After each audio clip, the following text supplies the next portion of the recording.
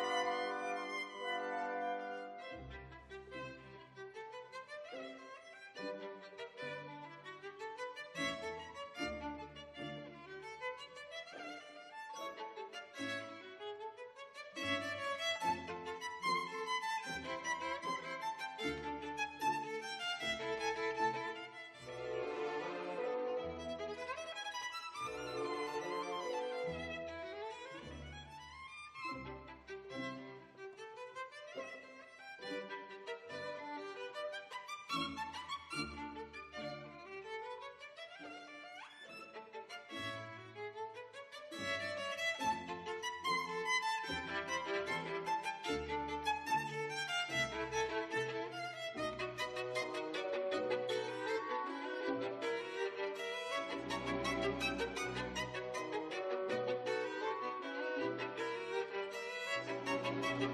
you.